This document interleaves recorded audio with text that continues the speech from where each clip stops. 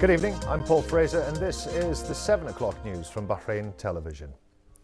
His Majesty King Hamad bin Isa Al Khalifa met with the World Jewish Congress President Ronald Lauder today, who is currently visiting the kingdom. The meeting reviewed topics that aim to achieve security, stability, and world peace for all nations. His Majesty affirmed that Bahrain is conducting many conferences and initiatives that aim to achieve religious convergence. He also said that Bahrain was capable of bringing together different religions in one country and hailed Bahraini society's tolerance and openness.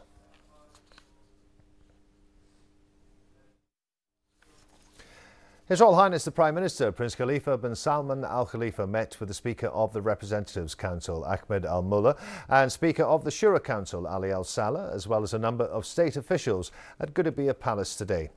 The Prime Minister affirmed that all achievements that have been made by Bahrain are a shared effort involving all the people. He thanked citizens for their noble sentiments and congratulations on the international honours and awards which he has recently received. His Royal Highness commended the support of His Majesty the King and the people for their efforts which gained him international honours, saying that it's not a recognition of him personally, but to the people of Bahrain. He said more efforts must be done to overcome all obstacles in order to achieve the aspirations of the citizens. The Prime Minister affirmed the government's resolve to continue work in all development projects and facilitate their smooth completion. He reiterated the government's commitment to enhance the existing cooperation between the executive and legislative authorities in order to achieve the best interests of the nation and fulfill the aspirations of the people. Regarding international issues, His Royal Highness said regional and international developments have affected Bahrain and asserted the kingdom's ability to successfully overcome all challenges. For their part, the audience expressed thanks to the Prime Minister for his constant keenness to increase coordination between the legislative and executive branches and confirmed the legislative authority's resolve to continue to serve the country and its people.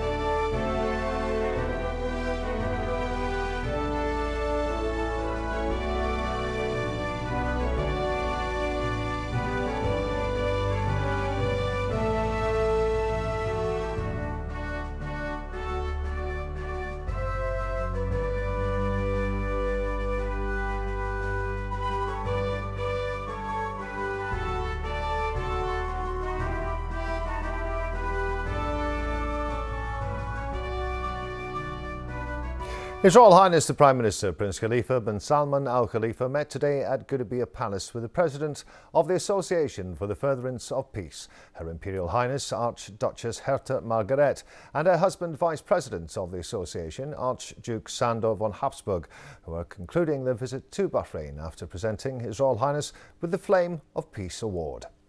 The Prime Minister highlighted the importance of collaborative efforts of international public and private institutions to spread and reinforce peace in the face of ongoing challenges of terrorism and extremism, which are threatening the security and livelihoods of people. He asserted that ongoing conflicts and tensions across the globe require the international community to take joint action to preserve the security and stability of humanity. His Royal Highness confirmed that Bahrain is and will remain a country of coexistence, peace, tolerance, and openness based on the legacy of its people. He commended the pioneering role of the Association for the Furtherance of Peace and its message, which aims to reinforce the principles of peace and tolerance across the world. For their part, President and Vice President of the Association for the Furtherance of Peace expressed their thanks and appreciation to His Royal Highness the Prime Minister for the warm welcome and hospitality they received during their stay in the kingdom. They affirmed that presenting His Royal Highness the Prime Minister with the Flame of Peace Award comes in appreciation of his effective role in supporting the demands of development and peace, as well as for his efforts spreading the culture of peace and strengthening relations of cooperation and love amongst the people of the world. Archduchess Margaret also praised the development of the kingdom in all fields, including culture and education. His Royal Highness the Prime Minister Prince Khalifa bin Salman Al Khalifa chaired the cabinet meeting today at Gudaibiya Palace. His Royal Highness praised the success of the Bahrain Formula One Grand Prix, lauding the role of the organising committees, officials, government bodies, participants and attendees in contributing to the success of this international sporting event. He also praised the role of His Royal Highness the Crown Prince, Deputy Supreme Commander and First Deputy Prime Minister Prince Salman bin Hamad Al Khalifa and his efforts in enhancing the position of Bahrain on the world's sporting map. His Royal Highness then directed concerned officials to follow up on the needs of Galali Town and ensure the availability of sports, educational and health facilities, roads and other services which are required. A number of topics were discussed during the meeting. His Royal Highness stressed the importance of a new focus on economic sectors that provide job opportunities and attract national employees to ensure the stability of Bahrain's labour market and its ability to provide further job opportunities. Indicators showed annual growth in total employment of 5.5%, with 158,000 Bahraini workers in both public and private sectors, which reflects the success of the government's efforts. The Cabinet discussed a new draft law regarding protected cell companies and referred the matter to the Ministerial Committee for Legal Affairs. Three law amendments were discussed regarding Central Bank of Bahrain, the CBB, forming the Bahrain Institute for Banking and Financial Studies in association with the CBB, adding new tasks to the CBB and adding more privileges, and referred the matter to the Ministerial Committee for Legal Affairs. The Cabinet discussed an agreement between governments of Bahrain and China regarding the exemption of requirements for visa, diplomatic and special passport holders in order to get a free visa for up to three months for both countries. A commercial agreement in the field of maritime between Bahrain and Egypt was discussed by the Cabinet and referred the matter to the Ministerial Committee for Legal Affairs. The Cabinet also approved an air services agreement between the governments of Bahrain and Hungary, which was signed on January 21st of this year.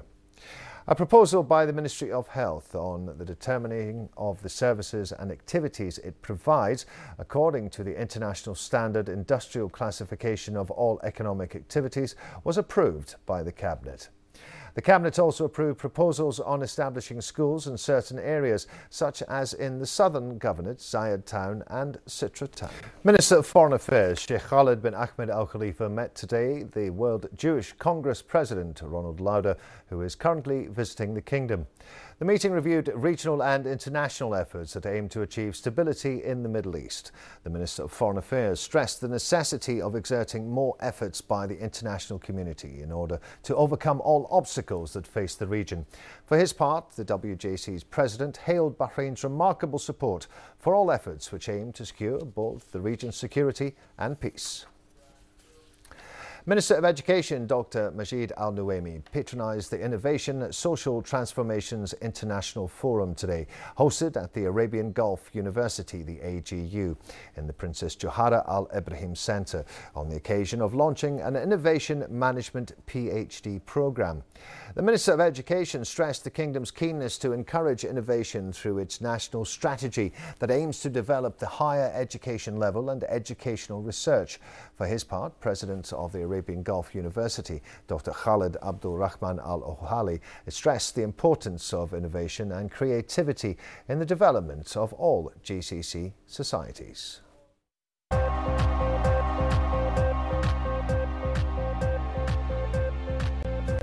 Time for the latest updates in the business world now from Danielle. Thanks so much, Paul.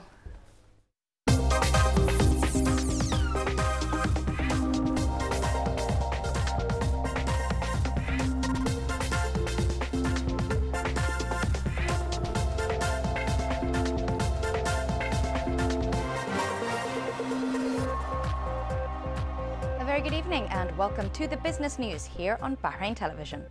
The Bahrain All Shares Index closed today at 1,133.64 points, marking an increase of 7.35 points above yesterday's closing level.